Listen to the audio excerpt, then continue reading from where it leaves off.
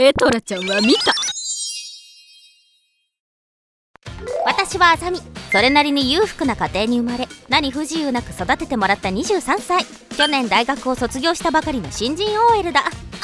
おーいあざみ。あかね。彼女はあかね。私の中学高校の同級生。エスカレーター式の学校だったこともありもうずいぶん長い付き合いになる。あざみは今何してんの？お父さんの会社継ぐんだっけ？今は別の会社よまずは全然違う会社で一から社会勉強しなさいってわけ。いやー大変そう。頑張ってるのね。そういう茜こそとうとう役者でしょ？大したものじゃない。まだ研究生。バイト掛け持ちしながらの見習いよいいじゃない。夢を叶えるなんて大抵の人はできないものよ。おっと。社長の一人娘のあんたがそんなこと言ったら怒られるわよ。お気づきの方もいるかとは思うが私たちはお嬢様学校の出身だった。私の家は父が会社の経営者。茜の家は母親がメイクアップアーティストをしている。みんなそれぞれ親の背中を見て志したものがある。そんな家庭が多かった。急に大きい声出さないでよもう。し仕方ないでしょ。あんたまだ猫苦手なの？トラウマよトラウマ。苦手なものは苦手なのよ。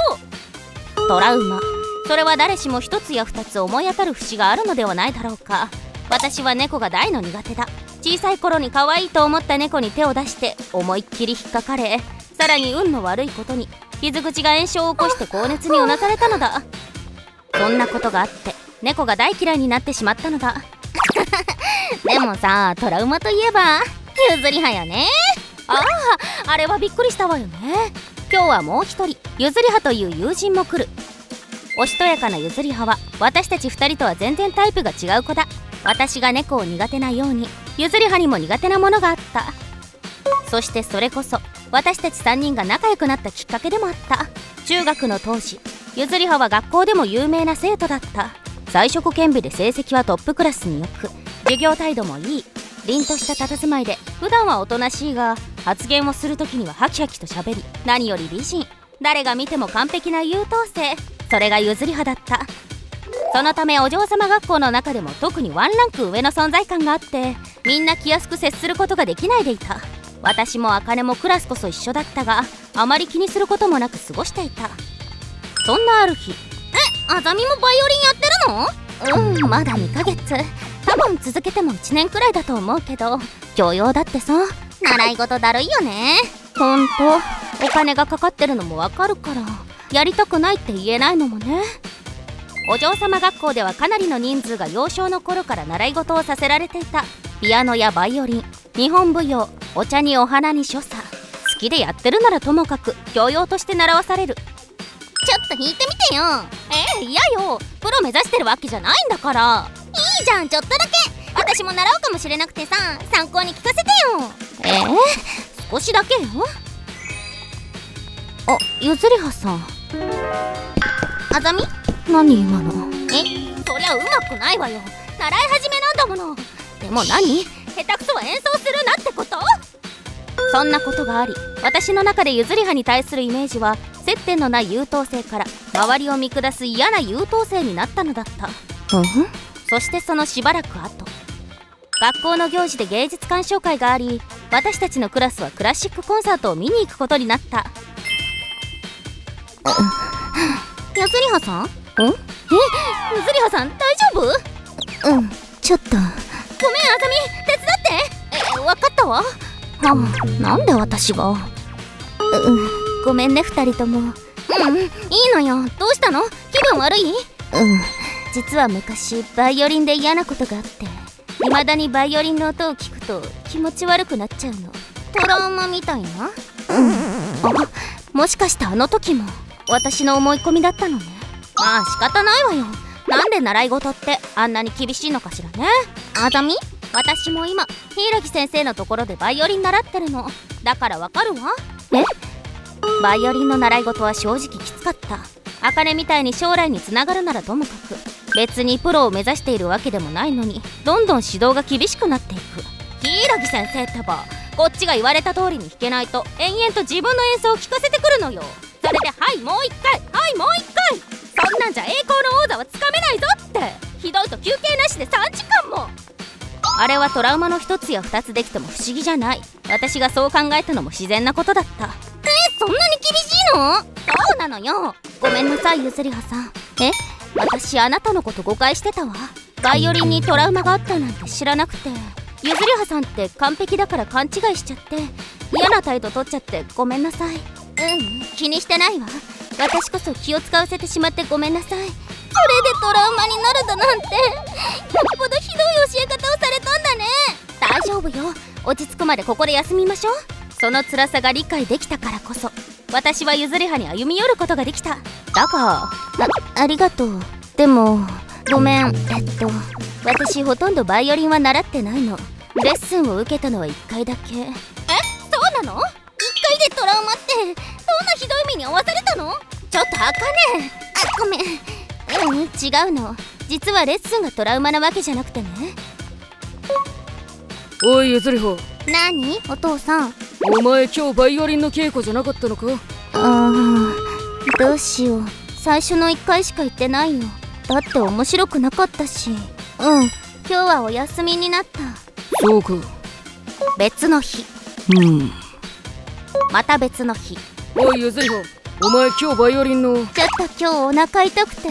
ゲームはできるのか？ええっと。ゆずりは習い事もただじゃないんだぞ。お母さんも良かれと思って進めてくれてるんだ。サボってるわけじゃないんだな。うん。来週は行く。そうか。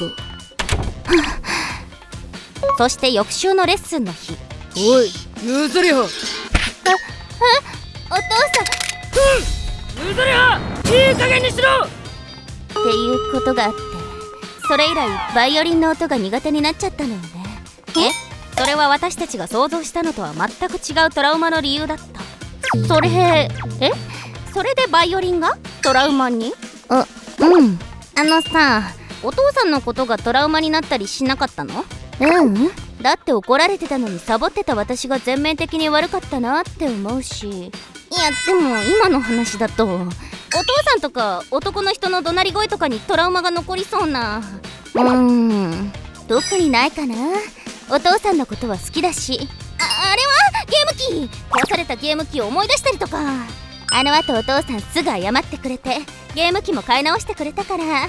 すまんあれはお父さんのやり方が全面的に良くなかった。それで？やりたいことをやったらいいから何か興味がある習い事はないのか？言ってくれて。今も日本舞踊を習ってるんだ。そそう？あそれじゃあバット野球！うん？今もお父さんと一緒にプロ野球見たりするよ。え？バイオリンの音？うん。バイオリンの音を聞くとさあの時怒られた心臓がバクバクする感じを思い出しちゃってちょっと気分が悪くなっちゃうのよ。っていうか。ゆずりはさんでも習い事サボるんだね。それも意外なんだ完璧な優等生だと思っていたゆずりはの思わぬ一面だった。だって気分が乗らない時だってあるじゃない。今だって甘いもの食べてゲームしたいわよ。そうなんだ。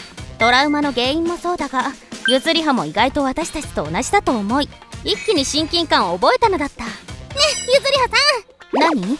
今落ち着いたらさ3人で抜け出してクレープ食べに行かない？え？ちょっとあかねサボり記念日何？サボり記念日って。それからというもの私たちは3人でよくつるむようになったのだった。ゆずりはのトラウマも今ならちょっとはわかるわ。私たちの家は世間一般からしたら特殊な環境だったのよね。懐かしいわね。結局あの時は会場にカバンを置きっぱなしにしててさ。そう。クレープなんか買えずにすごすご戻ってきて先生に叱られたのよね。遅いわよ2人とも。ごめんごめん。仕事ができる人間は15分前行動。基本よ基本。それは仕事の話でしょ？プライベートじゃ気を使わせない集合の仕方ってのがあるのよ。ゆずりは？あら。私は講師ともに気をつけてるけど。とかなんとか言って。久しぶりに私らに会うのが楽しみで早く着きすぎたんじゃないの？バレた？まったく。ゆずりはも今じゃバリバリの本社勤務で働いているらしい大学のうちに秘書検定の1級まで取得し私とは異なるアプローチで後継者修行中というわけだ。あんたまさか今日サボってないでしょうね。今もあの頃のできる優等生で少しお茶目な普通の女の子だ。してないわよ。今日はちゃんとお休み取ってるってば。トラウマは誰しも一つや二つ。思い当たる節があるのではないだろうか。その人にとって何がきっかけで何がトラウマになるかわからないゃんカズリハ大丈夫？大丈夫よ。なんかね気がついたら平気になってたの。え？そうなの？うん。多分2人と友達になったきっかけだからじゃないかしら。もう譲りはってば。またそういうこと言って。そしてその人にとって何がきっかけでトラウマを克服できるかわからない。それはそうとゆずりは最近職場でいい感じの男の子いるみたいじゃない。え？なんで知ってるの？あんなに合わせ写真アップしといてよく言うわよ。いいな私なんて浮いた話まるでないわ。あらあかねが一番いろいろあるんじゃないの？それはまあね。っていうかいろいろありすぎてそもそも恋愛にトラウマが。そうね。あかねはそういう役回りよね。こういう役回りって何よ？そんなことを思いながら私たちは近況と思い出話に花を咲かすのであったご視聴いただきありがとうございました。何がトラウマになるか何がきっかけでトラウマになるかそして克服の仕方は人それぞれです。だからこそ否定とかしないで理解することって大切です。それにしても確かに何でも完璧にこなす人が自分と同じように何かしらの苦手意識を持っていたりしたら親近感が湧きますよね。皆さんはどう感じましたか？コメント欄に書いていただけると嬉しいです。また少しでもいい話だなと思った方チャンネル登録と高評価をお願いいたします。